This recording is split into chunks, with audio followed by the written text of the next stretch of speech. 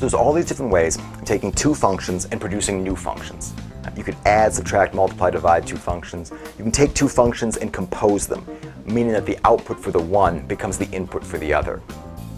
In light of this, I'd encourage you just to pick up your pen and just write down some extraordinarily complicated functions. The function that you write down has probably never been written down in the history of humankind. I mean, there's just so many different choices that you could make when you're combining all these different algebraic operations. And that's part of what makes calculus so amazing, right? There's just a huge variety of functions out there. But not, not every function really has its source in just combinations of algebraic symbols, right? A lot of the functions that we want to study are really functions that are somehow coming from the real world. So I want to see some real world examples of, of functions right now.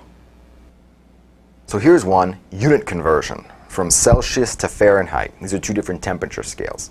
So the function, the f of x is 9 times x over 5 plus 32. So this is just a linear function. It's a, a number times x plus a number. And let's take a look. What's f of 0? That'd be 9 times 0 over 5 plus 32. Well, that's 0 plus 32. That's just 32. And of course, 0 degrees Celsius is the same thing as 32 degrees Fahrenheit. Here's another example. What's f of, say, 37? Well, that's 9 times 37 over 5 plus 32. 9 times 37 is 333 over 5 plus 32. 333 over 5 is 66.6. So 66.6 plus 32 is 98.6.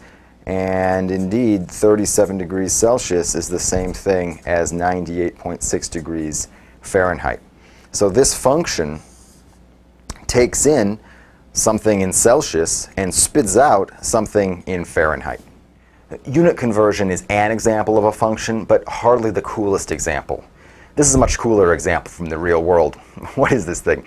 Well, this thing here is a microcontroller, so a very small computer, and it's attached to a couple light emitting diodes, LEDs.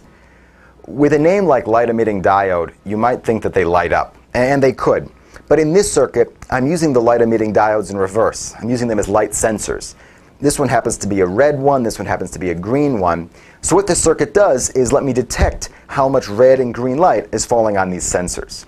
The other end is a USB cable and it plugs into my computer so I can record the results. Data that I gathered from the real world using the microcontroller. It's really two different functions. A function for the red LED and a function for the green LED.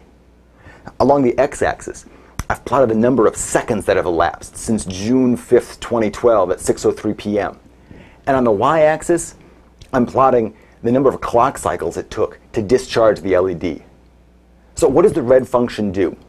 Its input is a number, a number of seconds that have elapsed since this particular moment in time. Its output is how many clock cycles it takes at that particular moment in time to discharge the red LED.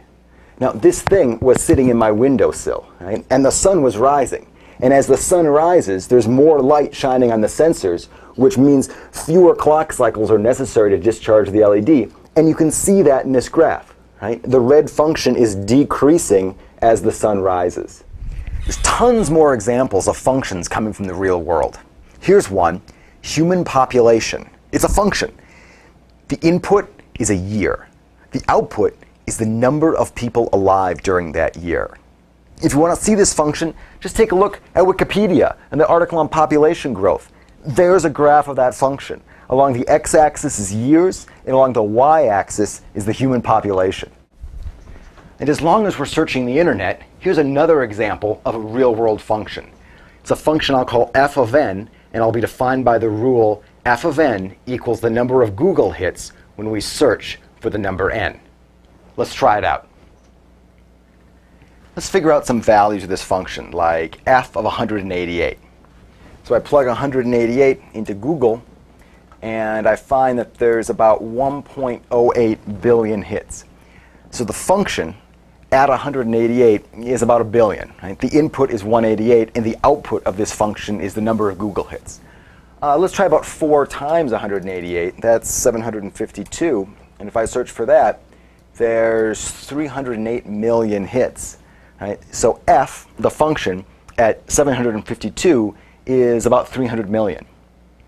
Now, if we're persistent, we can plug in lots of numbers and make a really nice looking chart like this. Now you do this for hundreds of numbers. Right? You type them into Google, you see how many Google hits you get, and you can plot them. Right? It's a function, so you can plot the graph of the function. Along the x-axis is the number that I typed into Google. On the y-axis is the millions of Google hits that I get. And when you look at the graph of this function, it's not random. There's real structure here. Right? the function's decreasing.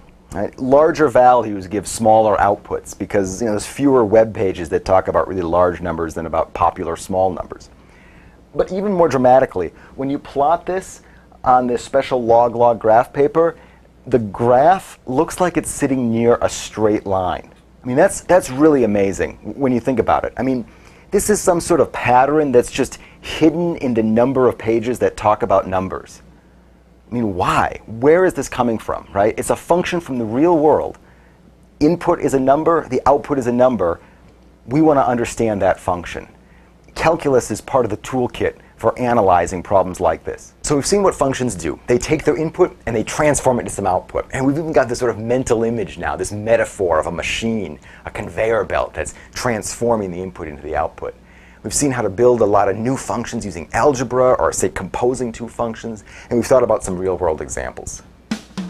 Now, we're going to be thinking more about functions for the rest of the term, but if you've got questions right now, I encourage you to contact me as soon as possible, and I encourage you to get started on the homework right away. Good luck.